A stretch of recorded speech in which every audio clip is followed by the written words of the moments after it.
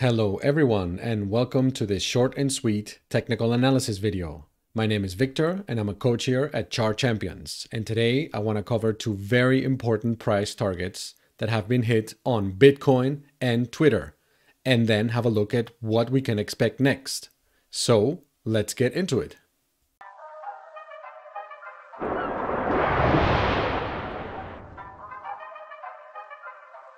All right, let's get started with Bitcoin.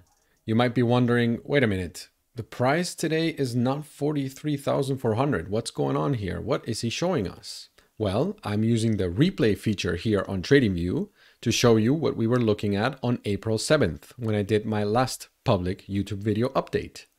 We were looking at this Gartley harmonic pattern, which worked out very, very nicely with a beautiful rejection off of this 47,000 region, 47, 48K. And now, of course, we want to know, well, what happened next? Let me refresh your memory. The primary or first major target for this Gartley harmonic pattern, which is a bearish pattern, trading it short from D, is the 618 from C to D. So let's see what happened next. There you go. Now we're up to speed. And this is now the live chart of the Bitcoin price action. As you can see, we continued to work our way down, finally hitting that 39K target very nicely.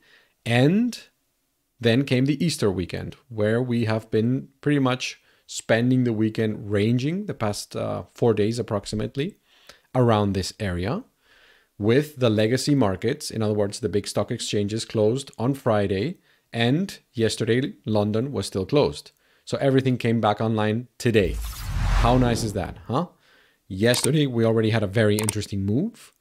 Basically, we stopped out anybody that longed that first touch of 39,000 and put their stop loss right under that. These people got stopped out and then price reversed completely to start crossing the entire range here and now pushing higher.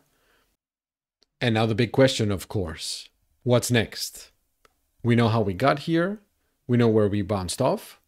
And I'm going to show you even cooler stuff for the confluence of this bounce. Very simple. The fib retracement from this low to this high. Bam, right there, 618. And you can even add an old monthly level, which was sitting right smack in the middle of it and was hit to the dollar, providing us in the past couple of days with a very nice, almost 8% bounce. So very, very cool. But what do we do now? Which levels should we paying should we be paying attention to now? These are some of the fresh levels that I'm looking at and that I wanted to show you. We have created a fresh untapped daily level now at 39,670. That's supported the downside. Resistance to the upside, if we keep moving up, would be, for example, this untapped daily level at 42,750 if we were able to push through that even higher, even through this daily level uh, as well here, we could even go all the way up to 46,583. However, there's another level down here, which is also very, very juicy and tasty. It's not just a daily level, it's also a weekly untapped level at 37.7. Is that still a possibility if we're moving up now? Well, today it doesn't seem very likely, but you need to be always prepared for all scenarios, for all probabilities, and just calculate where the strongest confluence is and where the highest probabilities are. So let's add some more stuff to these levels. The next thing we can add to the chart is a fib pool from this high to this low to find possible resistance levels. Here we have the 382 coming up as the first one, followed by the daily level that we already have on the chart, and then the CC as well as the 786 up here. What we can also add is the fixed range tool to show us the volume in this area. Here I've done a very big pool including data from the beginning of December. So we have a few months worth of data in here and we can see that this big red line in the middle, the point of control, is ahead and it acts as resistance until we can flip it to support. So we have the point of control, the 382 and the daily level behind it all of them acting together as resistance. If we manage to travel through this area and start closing daily candles above it and then flipping it to support, that would be very bullish and would show that this move continues to have strength. The same thing applies when we reach this CC area, which in the past, as you can see, has already been significant resistance. And ultimately, we have the 786 with a value area high and yet another daily level behind it. So these are very nice areas of resistance that we might be able to work through in the coming days or perhaps uh, coming week or two weeks and continue an upwards trajectory. If we are able to flip this last area of resistance here, that would be extremely strong and we can start looking at targets like this resistance area at 50k. What if we don't make it that far? What if we start rejecting somewhere? Well, that's exactly why we map out these levels like this to figure out where could we possibly turn around and head lower. And then you might ask, well, why would we head lower? This is looking great. I mean, this is pumping. We're going, baby. Yes, for now. But we have to see if this is enough to get us through these resistance areas. If not, then we can expect a sort of a pullback and we do exactly the same process for the downside.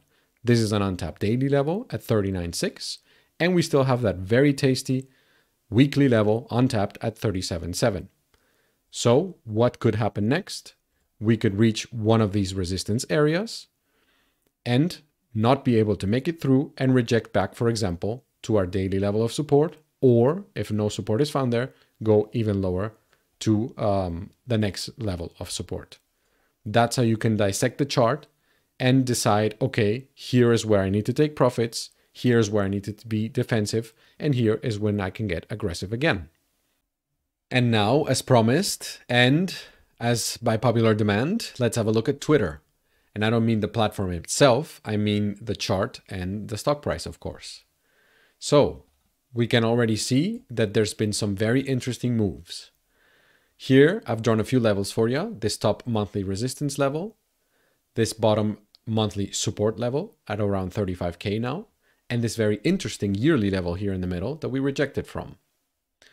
So first, we have this very impulsive move from March 2020 all the way to the all-time highs here in February 21 with a very strong pullback to, surprise, surprise, the 786 and then creating a monthly level of support. This move up has been pretty explosive and has given us approximately, well, almost 70% of an upwards uh, move in price. And now you might be thinking, wow, this is going to all time highs again. Well, wait a second. Let's have a look at what happened. Here we can see that this very impulsive move, we can even have a look on the weekly chart, this very impulsive move from this high pivot to this low pivot retraced perfectly to the 618 and yearly level confluence. This is a very strong confluence, and it's not a surprise that we have pulled back in price almost 19%.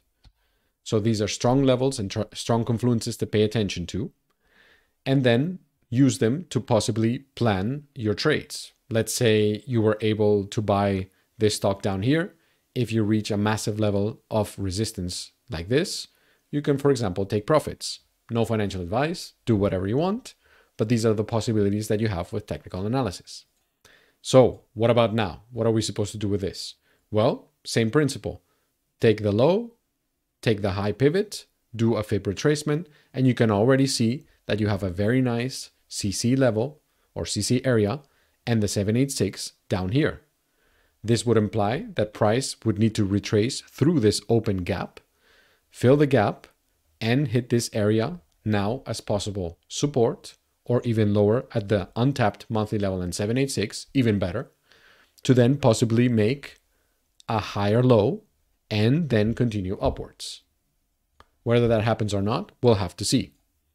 I'm going to show you also the fixed range pull from the entire chart, which shows what the volume distribution is like since November 2013.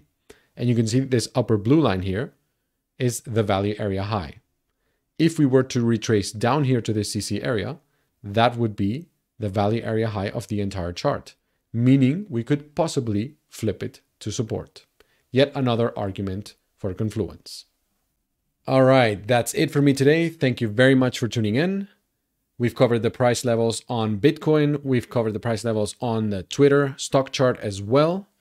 If you like what you see, please let us know on the comment section. If you would like to see other stocks and other TA done, then please let us know as well. If you want to learn how to do this stuff on your own, to draw your own levels, to find your own confluences and find entries, take profit targets, and just trade, then head on over to chartchampions.com where we teach you exactly this stuff and much, much more. So, have a fantastic rest of the day.